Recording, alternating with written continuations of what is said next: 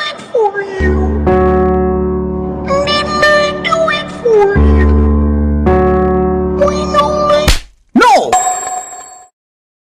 so damn long for? Let me do it for you. Shut up, man.